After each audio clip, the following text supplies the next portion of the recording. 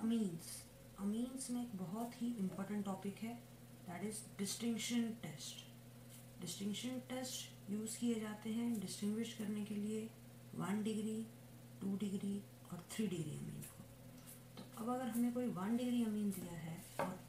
कोई हमें two degree और थ्री डिग्री अमीन दिया है तो हाउ विल वी डिस्टिंग्विश तो आंसर है कार्बाइल अमीन टेस्ट कार्बाइल अमीन टेस्ट में रिएजेंट होता है C H C L three और के ओ एच तो अब हम कोई भी प्राइमरी अमीन अगर लेते हैं R N H two add करते हैं C H C L three और K O H then product will be R N C plus three K C L plus three H two O R N C एक foul smelling compound होता है and ये test दोनों type के one degree amine देते हैं। That is aliphatic भी देंगे and aromatic for example question है methyl amine that is C S three N H two और N methyl aniline that is C H three N H C H three this is one degree two degree ये methyl amine carbyl अमीन देगा two degree test नहीं देगा।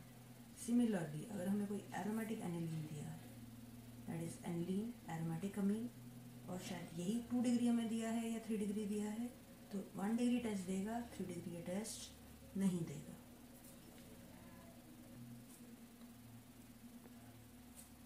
For example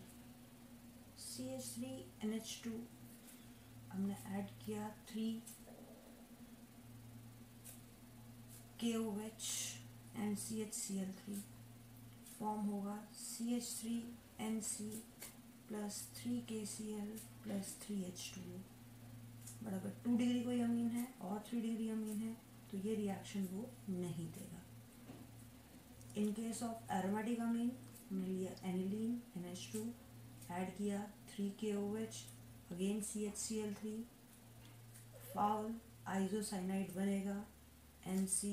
plus three K C L plus three H two अब यहीं पे कोई अगर two degree amine है that is N H C H three और अगर थ्री डिग्री अमीन है, तब ये रिएक्शन वो नहीं देगा। तो कार्बाइल अमीन डिस्टिंग्विश करेगा वन को टू से या वन को थ्री से। दोनों ही एलिफेटिक और एरोमेटिक ये टेस्ट देंगे।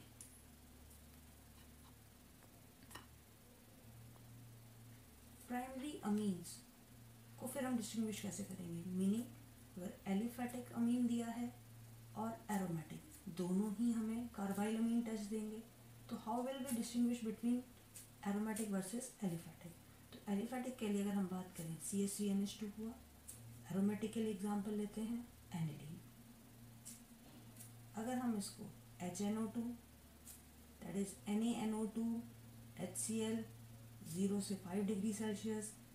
फॉर्म करते हैं तो ये फॉर्म करता है C H three O H एक अल्कोहल और अगर यही चीज़ हम एरोमेटिक अमीन में यूज़ करते हैं that is in case of aniline H N O two same condition N A N O two H C L जिसे हम डाई एजोडाइजेशन बोलते हैं तो प्रोडक्ट बनता है B D C that is benzene diazonium chloride तो in general aliphatic amine N N O two और H N O two H C L zero to five degree celsius में अल्कोहल फॉर्म करेगा whereas aromatic amines H N O two N A N O two H C L की presence में benzene diazonium chloride form करेंगे। Now we will distinguish one degree versus two degree versus three degree हमने one और two के बीच में carbylamine test कर लिया but now we are distinguishes between two and three degree now for example one degree is R N H two two degree will be R N H R and three degree will be R N R R अब इसके लिए एक test है that is Hinsberg test Hinsberg test में हम लेते हैं benzene sulphonyl chloride that is benzene S O two C L अब वन डिग्री के केस में एक एच और सी एल इससे रिएक्ट कर सकता है। टू डिग्री केस में भी एच सी एल के साथ रिएक्ट कर सकता है। पर बिकॉज़ थ्री डिग्री में कोई भी एच प्रेजेंट नहीं है तो वो इसे रिएक्ट नहीं करेगा। मीनिंग थ्री डिग्री ये रिएक्शन शो नहीं करेगा। टू डिग्री प्रोडक्ट बनाएगा। और वन डिग्री भी प्रोडक्ट बनाएगा। In case one degree product बनेगा एन एच यहाँ से एक एच हट गया सी एल के साथ प्रोडक्ट फॉर्म हुआ एस ओ टू और साथ में benzene ring similarly two degree में ये एच इस सी एल के साथ रिमूव हो गया तो प्रोडक्ट फॉर्म होगा आर एन आर यहाँ से एच और सी एल रिमूव हुआ एस ओ टू और बेंजीन रिंग तो वन डिग्री ये रिएक्शन शो करेगा, टू डिग्री ये रिएक्शन शो करेगा थ्री डिग्री ये रिएक्शन शो नहीं करेगा। बट जो वन डिग्री में प्रोडक्ट बना, वो वाटर सॉल्युबल होगा because of presence of this hydrogen और इस केस में ये प्रोडक्ट इनसॉल्युबल होगा because of absence of hydrogen bonding in this case there is hydrogen bonding hydrogen bonding present है, यहाँ पे हाइड्रोजन बॉन्डिंग प्रेजेंट नहीं है। तो ओवरऑल वन डिग्री और टू डिग्री हिंसबर्ग टेस्ट देगा थ्री डिग्री हिंसबर्ग टेस्ट नहीं शो करेगा। वन डिग्री का प्रोडक्ट वाटर सॉल्युबल होगा टू डिग्री का प्रोडक्ट वाटर इनसॉल्युबल होगा। तो ओवरऑल डिस्टिंक्शन टेस्ट हमारे तीन हुए। पहला हुआ कार्बाइलमीन टेस्ट दूसरा हुआ reaction with nitrous acid H N O two तीसरा हुआ रिएक्शन हिंसबर्ग टेस्ट हर एक का रिएजेंट पता होना चाहिए। That is C H C L three K O H इस केस में H N O two that is N N O two H C L reaction condition zero से five degree Celsius इस case में benzene sulphonyl chloride one degree ये test चाहे वो aliphatic हो और एरोमेटिक ये दोनों ही वो टेस्ट देंगे बट टू डिग्री और थ्री डिग्री ये प्रोडक्ट नहीं फॉर्म करेंगे। जनरल रिएक्शन होगा R N H two K O H C H C L three product बनेगा R N C three K C L and three H two O H N O two ये distinguish करेगा aliphatic one degree को aromatic one degree से। Aliphatic के case में alcohol form होगा aromatic के case में बी डी सी फॉर्म होगा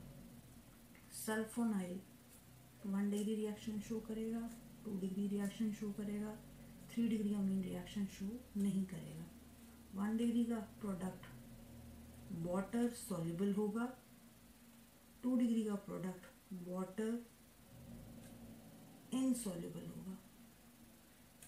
तो यही डिस्टिंक्शन टेस्ट आते हैं जो एग्ज़ाम में आते हैं। आपको बेसिक रिएक्शंस उनके रिएजेंट और कौन कौन से ग्रुप कौन कौन से टेस्ट देते हैं, ये आपको लर्न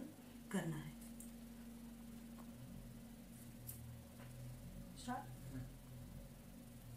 अब अब डिस्टिंक्शन टेस्ट पे फॉलोइंग क्वेश्चंस आते हैं। तो क्वेश्चंस हैं related distinction between first case methyl amine and N di methyl amine अगला रिएक्शन है methyl amine and aniline third is ethyl amine and N N dimethyl methanamine.